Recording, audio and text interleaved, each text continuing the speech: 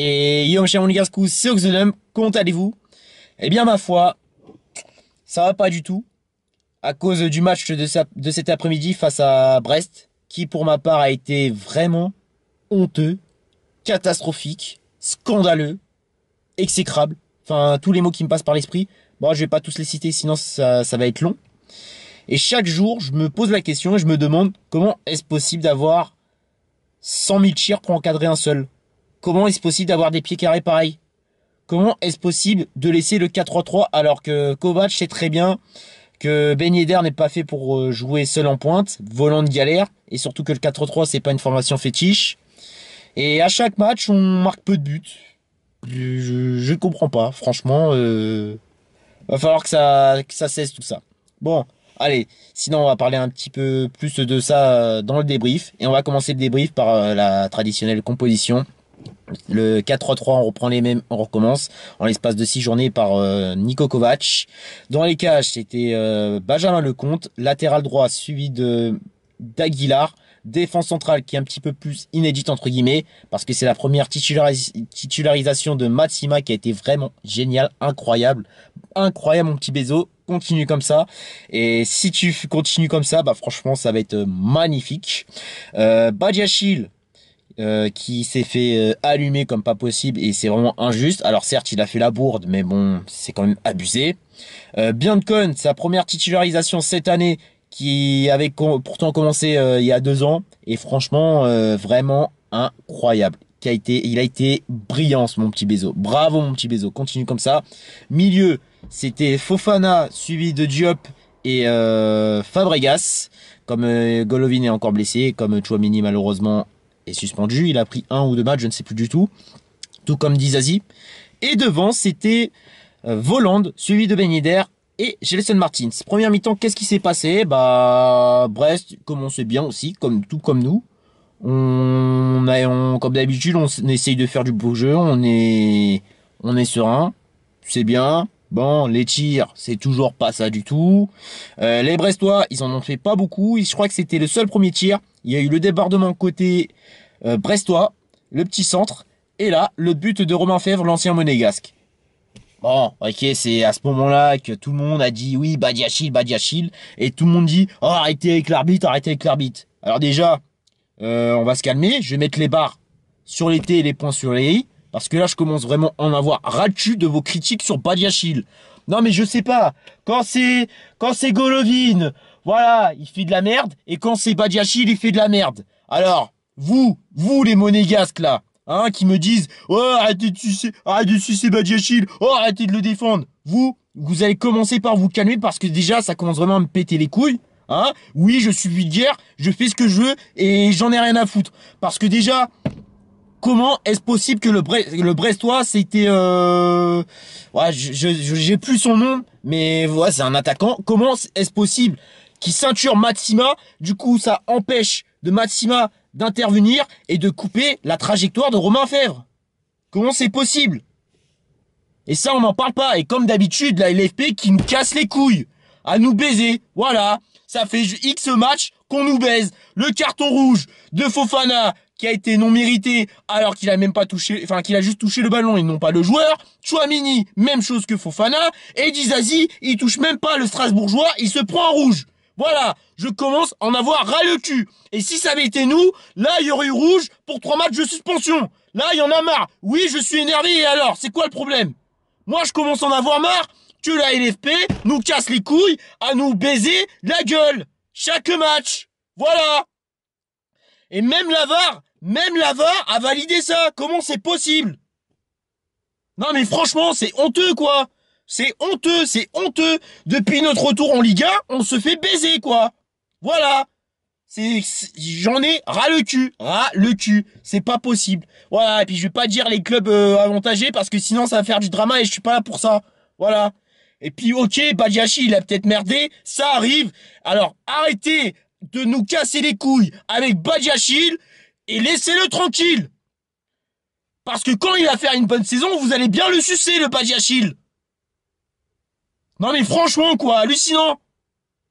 Et oui, pour moi, le but devait être refusé parce qu'il y a eu ceinturation sur Matsima Et vous, vous trouvez, vous, trouvez à casser Badiachil. Eh ben, continuez à le casser. Voilà. Et ça sera sans moi. Oui, il a merdé. Et je suis honnête. Voilà. Et c'est pas de sa faute. Et c'est pas le, le plus mauvais. Et vous, vous, le classez dans le, le plus gros flop. Et je ne comprends pas du tout. Voilà. Et vous, les monégasques, là. C'est bien beau de faire du beau jeu. Et vous, monsieur Kovac, avec votre 4-3-3. Hein, vous savez très bien que c'est une formation qui est vraiment médiocre Hein Parce que je le répète sans cesse, beignet d'air, c'est comme le vin, c'est comme le vin rouge, c'est comme le Bordeaux. Ce n'est pas fait pour boire avec du gâteau. C'est comme si, c'est comme si je le prenais avec du gâteau. Hein Ah non, ça, ça colle pas.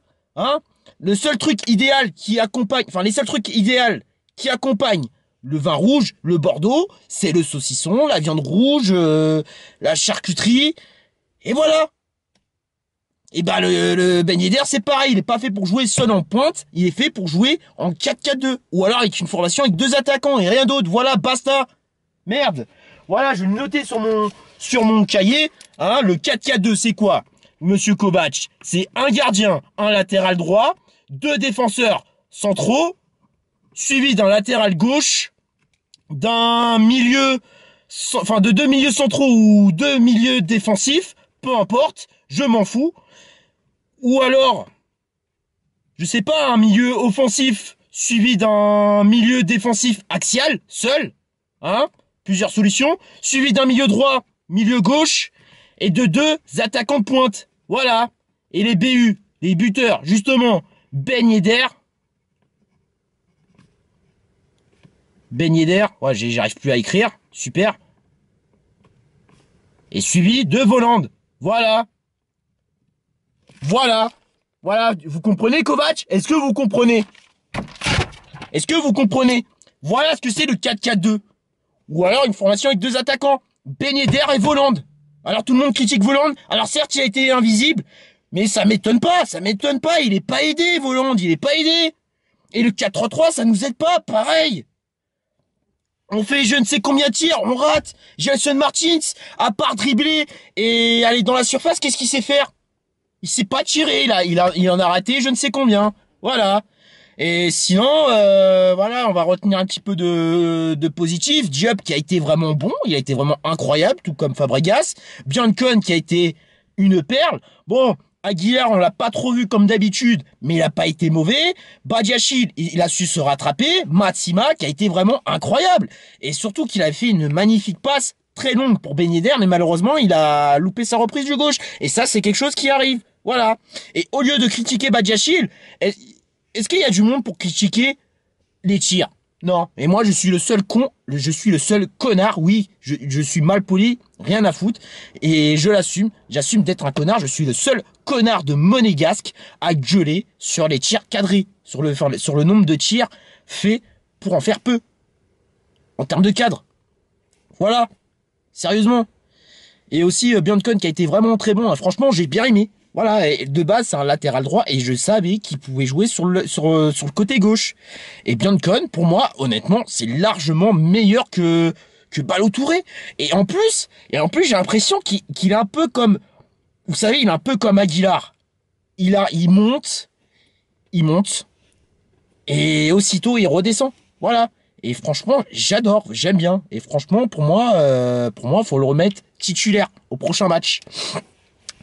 Et aussi, euh, aussi, euh, bah, en parlant d'Aguilar, Aguilar pour moi, pour moi, il a été, je sais pas, je, sais pas s'il a joué latéral droit ou ailier droit. Limite, il a pris la place de de Voland. Je sais pas, c'est lui qui a assumé le rôle d'ailier droit. Mais Voland, voilà, je vais pas trop le casser, hein, parce que je sais qu'il va faire mal. Je sais qu'il va faire mal. Mais le souci, c'est que voilà, il, il arrive pas, il se noie, il jongle. Voilà, il, se, il jongle. Et niveau tir, bon, il y en a... Tir de loin, il n'y en a pas eu beaucoup. Bon, certes, il y a eu des hors-cadres, mais des moments, les gars, arrêtez de trop chercher l'altruisme. Fabregas, arrête de trop chercher l'altruisme. Fabregas, pourtant, t'arrives à tirer, t'en as mis des buts de loin dans ta vie. Mais pourquoi tu cherches pas à frapper de loin? Surtout quand t'as un bon champ libre, toi, tu préfères donner le ballon.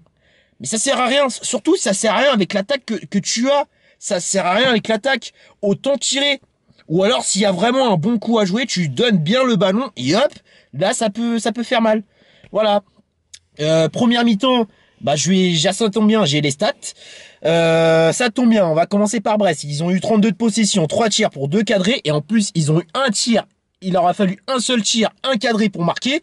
Alors ils ont réussi euh, 69% bah, de passes.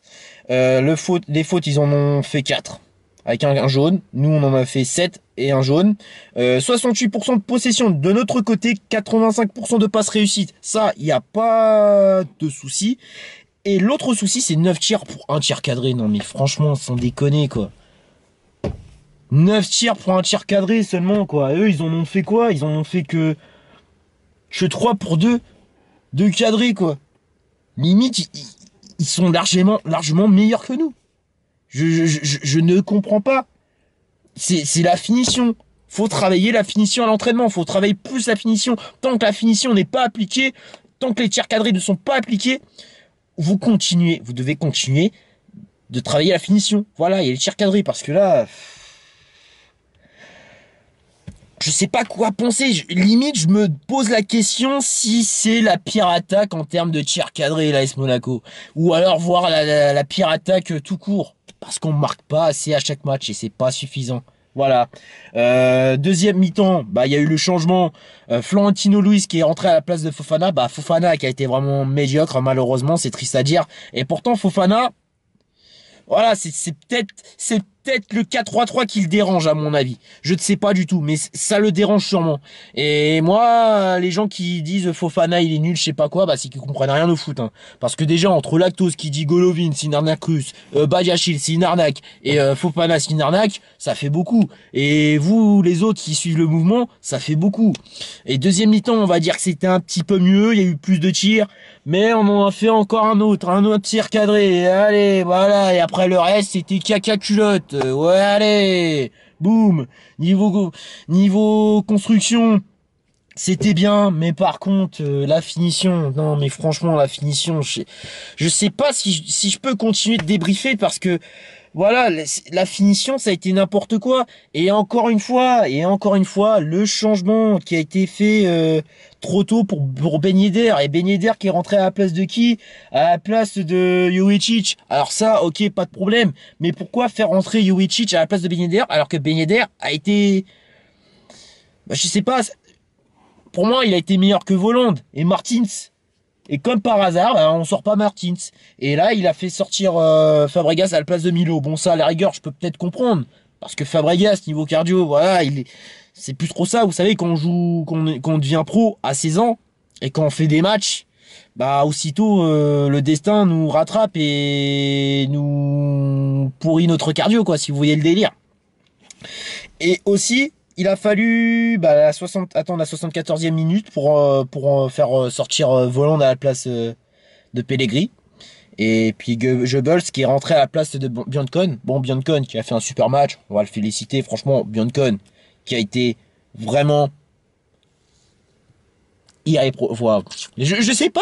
Oh mon petit Bézo. Oh qu'est-ce qui t'arrive? T'as été incroyable. T'as été incroyable. Continue comme ça. Continue comme ça. Franchement, Bjornkon, je t'adore. T'es, incroyable. T'es nickel. Franchement, continue comme ça, Biancon. Et moi, je savais que tu avais quelque chose en toi. Je savais que tu avais quelque chose en toi.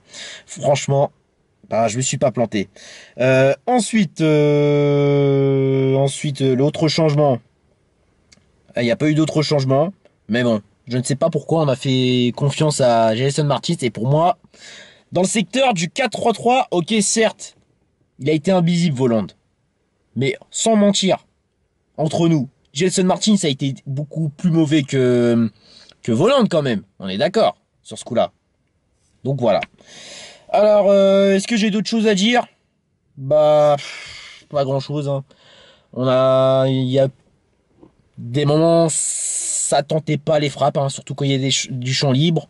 Euh, dans la surface, on a eu des angles très compliqués, mais ça tentait. Je, je ne comprends pas. Et puis Badiachil qui a raté une frappe. Vraiment dommage. Il a tiré en l'air. Franchement, j'ai pas du tout compris. J'ai pas du tout compris. Donc voilà, j'ai plus grand chose à dire dans ce débrief. Hein, parce que. Voilà, mis à part euh, ce qu'on a fait en deuxième mi-temps, hein, franchement, euh, qu'est-ce qu'on a fait en deuxième?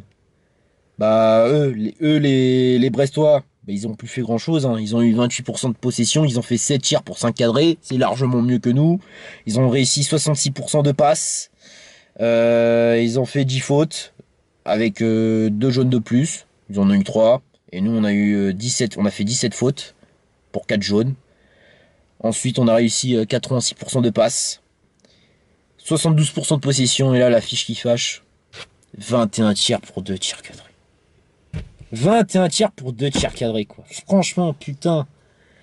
Mais franchement, j'ai envie de m'acheter un casque. Vous savez, le casque, là Quand, quand les gens... Euh, quand, quand, comment dire? Parce que ça a commencé à la patinoire, euh, un petit peu dans le coin. Vous savez, là où je vais. Surtout à la patinoire, pour ceux qui me connaissent.